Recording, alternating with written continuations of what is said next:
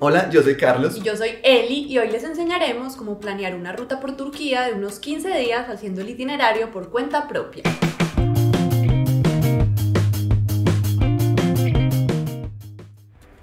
Desde que empezamos a publicar nuestros videos de nuestro viaje a Turquía, muchísimas personas nos escriben con muchas dudas, preguntándonos cuáles son las mejores zonas para hospedarse, cómo comprar tiquetes, cómo desplazarse de un lugar a otro. Entonces hemos decidido hacer este video donde les vamos a mostrar todo el proceso en el que nosotros planearíamos un viaje ficticio. Para ese itinerario ficticio, entonces escogimos unas fechas en octubre, entre más o menos el 3 y el 18 de octubre, lo que nos da unos 14 días, unas 15 noches, que creemos que es un tiempo ideal para estar en el país. Para ese itinerario vamos a visitar entonces seis ciudades de Turquía, pasando por Estambul, Ankara, Goreme, que queda en la región de Capadocia, Antalya, Pamukkale y al final pues vamos a ir a Selçuk, eh, más específicamente a Éfeso, que es como la parte más importante allá. Esas son como las ciudades que nosotros creemos que son las más turísticas, como las más recomendadas para visitar, pero por supuesto ustedes pueden modificar el itinerario como quieran. Nuestra idea es empezar en Estambul e ir haciendo un recorrido en el sentido de las manecillas del reloj. Esto como para no tener que hacer desplazamientos innecesarios, digamos al visitar primero una ciudad del norte, luego una ciudad del sur, luego volver a otra del norte, porque serían unos desplazamientos que aumentarían el presupuesto y nos quitarían mucho tiempo. Tengan en cuenta que también lo pueden hacer al revés, o sea, en contra de las manecillas del reloj. La idea es hacer un círculo, sin importar si es así o si es así. Entonces vamos a empezar, como les dijimos, vamos a empezar con Estambul. Esta es la ciudad más visitada de Turquía y además es la más importante del país. Aquí vamos a tener cuatro noches, que para ese itinerario van a ser las noches del 3, 4, 5 y 6 de octubre. Eso les va a dar más o menos eh, tres días enteros para visitar todo lo que puedan de esta ciudad. Para llegar desde el aeropuerto de Estambul hasta la ciudad, nosotros ya les hicimos un artículo bastante completo. Se los dejamos en nuestra página, la bitácora de carlosyeli.com. Igual en la cajita de información abajo también les dejamos el link para que vayan y lo lean y lo guarden y tengan esa información cerca a mano para cuando lleguen a la ciudad. Entonces, cuando ya nosotros tenemos los tiquetes y tenemos claro que la primera ciudad que vamos a visitar es Estambul, buscamos el alojamiento. Nosotros les recomendamos la zona de Sultan Ahmed si esa es su primera visita a la ciudad, porque es una zona muy turística donde está eh, la Mezquita Azul, la Agia Sofía, ah, la cisterna de Yerebatán, hay muchísimas cosas turísticas que ver en esta zona. Pero si ya fueron a la ciudad y quieren de pronto un barrio con mucha más vida, más comercio, más restaurantes, les recomendamos la zona de Taksim. Sí, Sultan Ahmed es el distrito histórico y Taksim es como uno de los barrios chic de la ciudad que también tiene un poco de historia.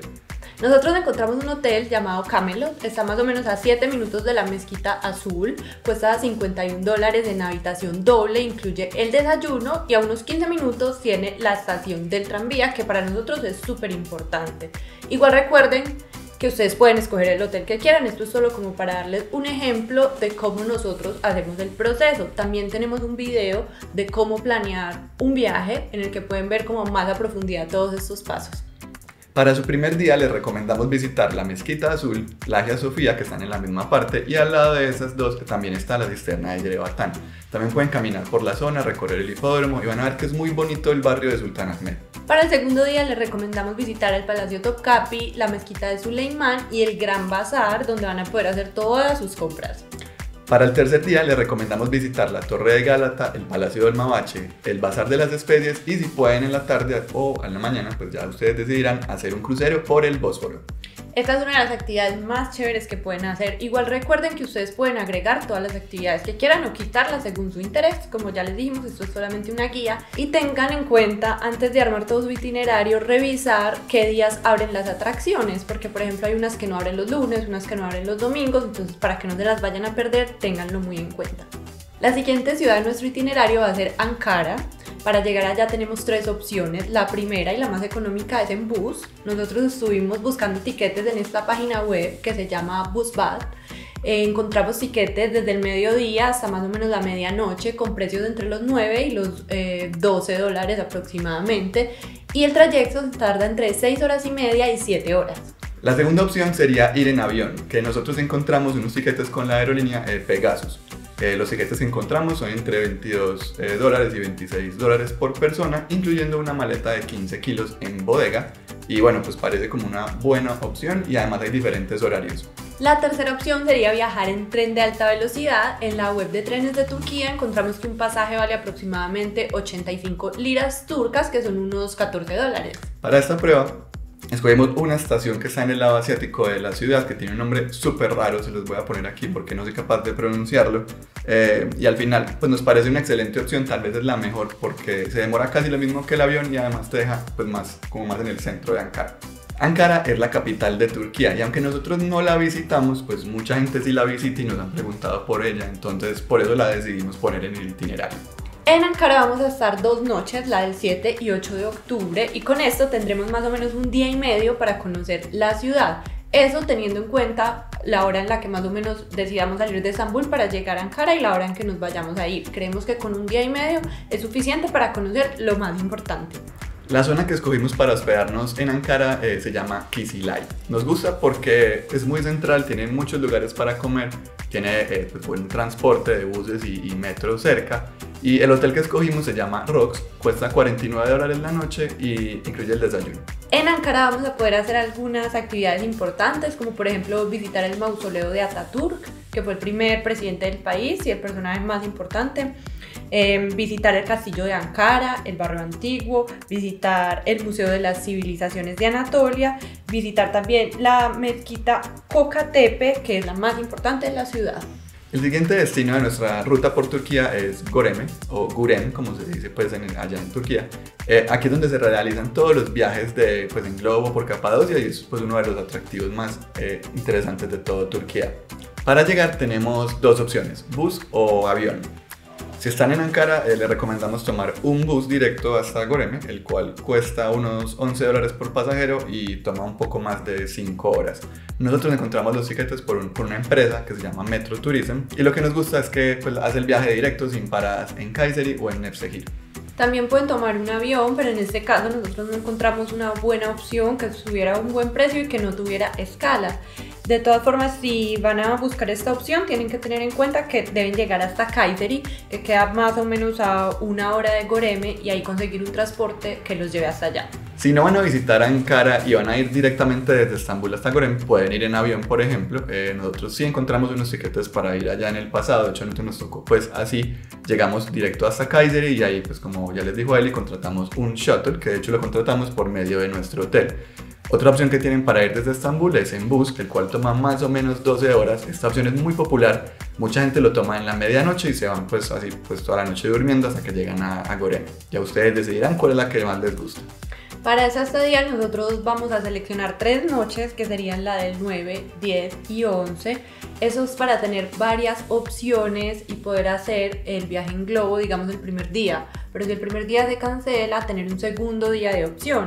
Esto se lo digo porque muchas veces los vuelos en globo se cancelan por cuestiones climáticas, entonces siempre es bueno tener como otro día de opción para que no se queden sin hacerlo porque es el imperdible número uno de esta zona del país. Otra cosa que deben tener en cuenta es que no tienen que hospedarse necesariamente en Goreme, hay otros pueblos como Ortajizar, Urgup y Uchizar, que también son pues buenos, mucha gente se queda ahí, simplemente en Goreme es como el más central y es como el más popular entre los turistas.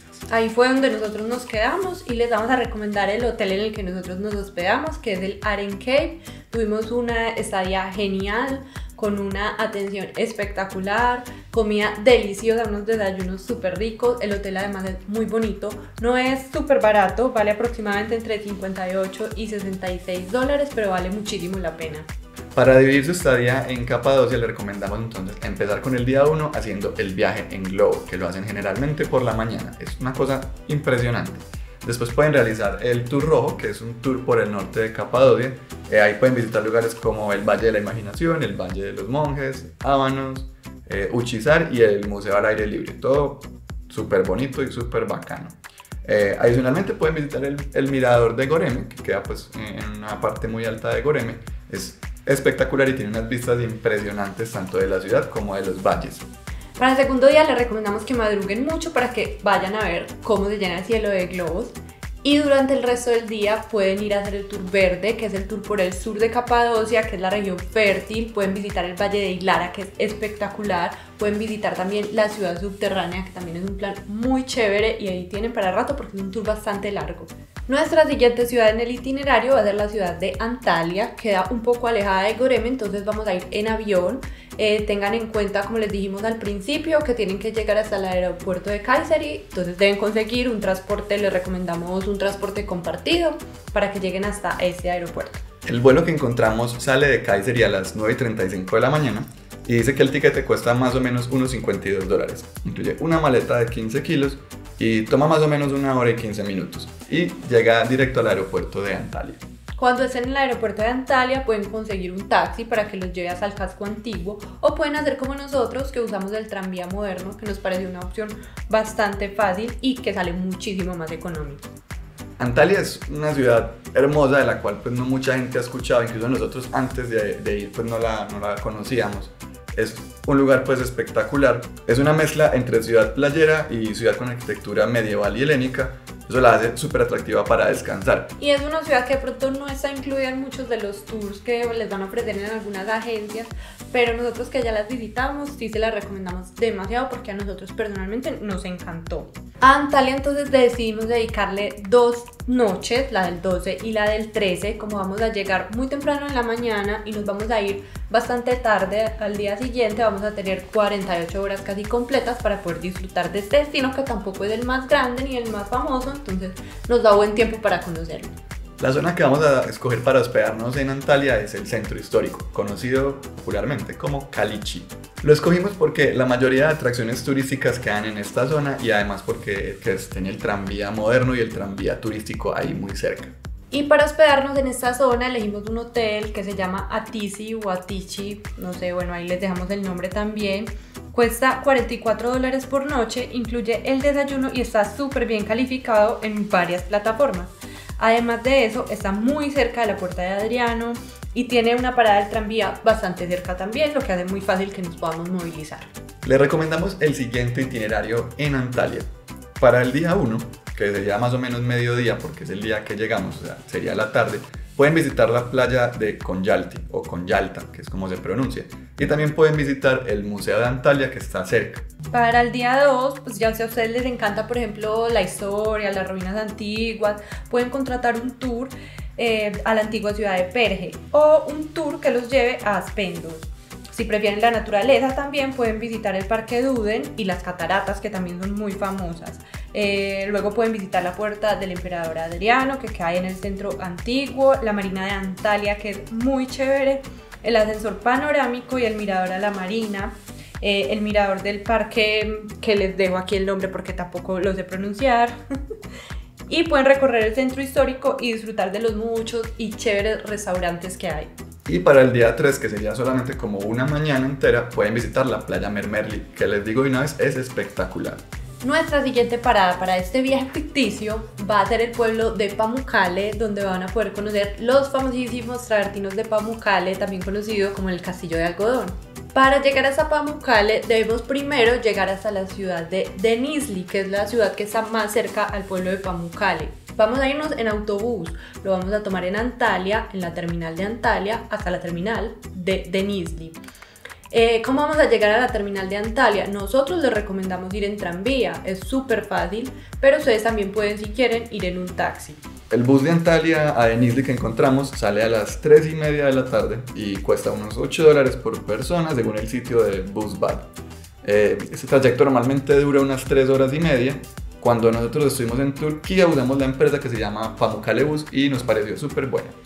Ya una vez en la terminal de Nizli, para llegar hasta Pamukkale, nosotros lo que hicimos fue tomar un taxi que mm, en más o menos 15 minutos nos llevó hasta el pueblo de Pamukkale y nos dejó en el hotel. Nos costó más o menos 14 dólares.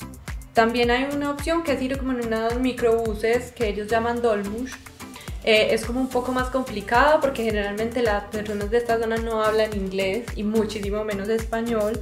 Eh, entonces creemos que vale la pena usar el taxi.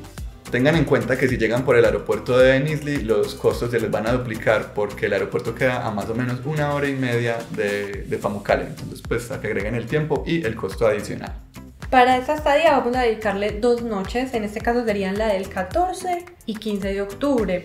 Em, con esto vamos a tener tiempo para conocer en un día, que es lo que necesitamos, el castillo de algodón. Para nuestro hospedaje escogimos el hotel Melrose House. Eh, es un hotel que está ubicado pues, en el pueblito de Pamukkale, eh, a más o menos 10 minutos de la entrada central de Pamukkale y a unos 40 de la entrada sur. Eh, el precio por noche es de 49 dólares, lo cual nos pareció bastante aceptable en acomodación doble. Y lo escogimos porque pues, está muy muy bien calificado y además porque las habitaciones se ven muy cómodas y los usuarios pues hablan muy bien del servicio y del desayuno.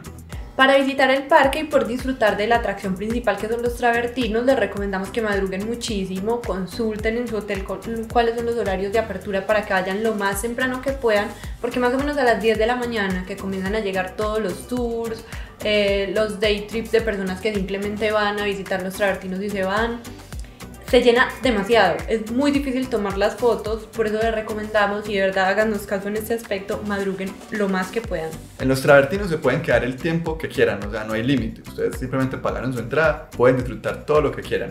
Pero les queremos decir que un par de horas son suficientes para recorrerlos y pues tomar fotos.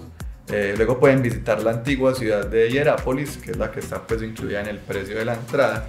Eh, en Hierápolis no se pueden perder el teatro, el cual es pues, una cosa gigante, espectacular. A nosotros nos encantó, además es un buen lugar para ocultarse un poco del sol si de pronto van en verano. Eh, y también pueden visitar las, las piscinas de Cleopatra si quieren. Eh, y al final de la tarde pues pueden irse a descansar ya a la piscina del hotel y, y ya dar por terminado el día. Realmente es que un día es más que suficiente para conocer todo. Después de visitar Pamukkale, vamos a visitar eh, la antigua ciudad de Éfeso, que en realidad está ubicada en la actual ciudad moderna de Selçuk.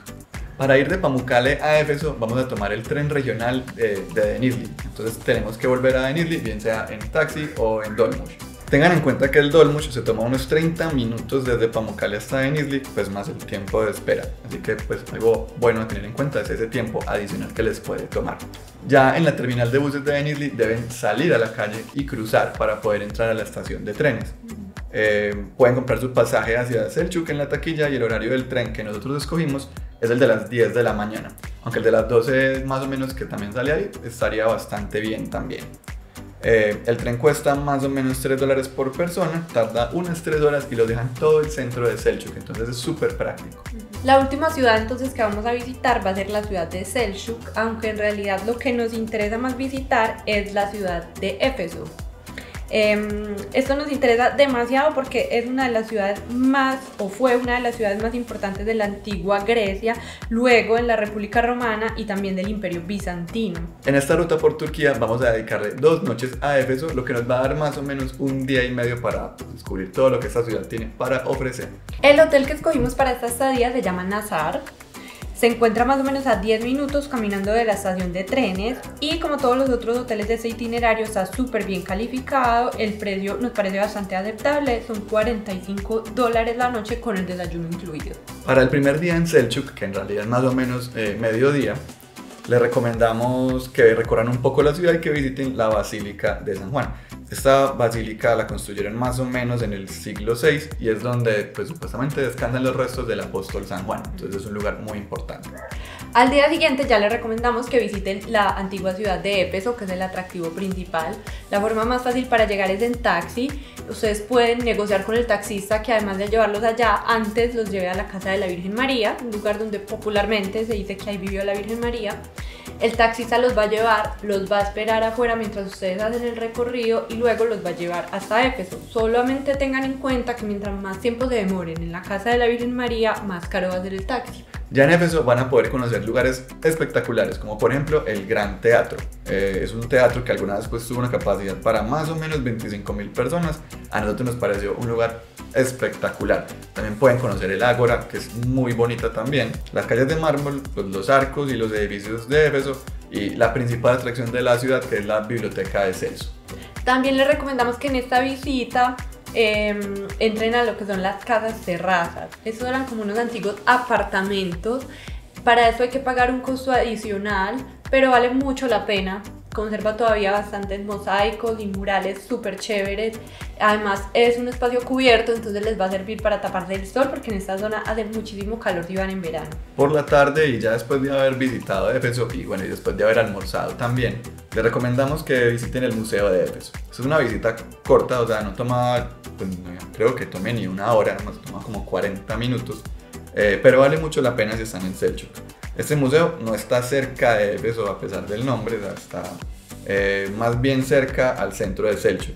Es una visita muy complementaria pues para la ciudad antigua de Éfeso, pues porque van a poder ver unas piezas muy impresionantes que antes estaban en la ciudad antigua. Es súper bueno el museo y el recorrido es como un circuito súper bonito.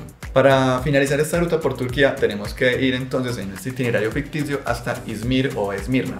Ahí vamos a tomar un vuelo que nos llevará hasta nuestra ciudad pues, de origen, en este caso Medellín, eh, generalmente hacen escala en Estambul. Pues si no pueden acabar así, eh, pues simplemente lo hacen desde Estambul. Llegar al aeropuerto de Izmir, eh, pues desde Selçuk es bastante sencillo. Pueden ir en el mismo tren que usamos para llegar desde Denizli. los horarios que, pues, que estamos viendo en la pantalla son los que pueden usar. vemos que hay trenes desde las 5 y 50 de la mañana hasta más o menos las 9 de la noche. los tiquetes los pueden comprar en la taquilla de la estación. Simplemente traten de llegar como una hora antes para estar tranquilos con la compra de su tiquetico. Em, el tren de bajar en la estación que está conectada directamente al aeropuerto es súper fácil llegar, no, no, se van a perder seguramente. Simplemente deben estar atentos pues, para no pasarse, porque la estación del aeropuerto de Izmir no es la última estación. Es un tren súper barato y cuesta más o menos un dólar con 50 centavos, entonces es súper práctico. Pero ya si ustedes no quieren usar el tren o si tienen un vuelo que sale en un horario distinto, pueden usar siempre pues como una opción de transporte compartido. Para esto pueden hablar con su hotel. Nosotros usamos como este tipo de transporte y es un poco más costoso, pero es muy práctico por los horarios y muchísimo más cómodo. Y hasta aquí vamos a dejar este video pues, de hoy. Esperamos que les sea súper útil. Le trabajamos mucho para que ustedes puedan ir a Turquía por cuenta propia. Esperamos que si conocen a alguna persona que va a viajar a Estambul, a Turquía o alguna de estas ciudades que mencionamos, le compartan este video. Si ustedes van a viajar, esperamos que les sea de muchísima utilidad. Si tienen más dudas sobre este país que despierta como muchísimas inquietudes, nos las pueden dejar en los comentarios para ver si se las podemos responder o incluso hacer otro video respondiendo esas dudas. Entonces, bueno, no, aquí vamos a dejar esto. Nos vemos en el próximo y chao.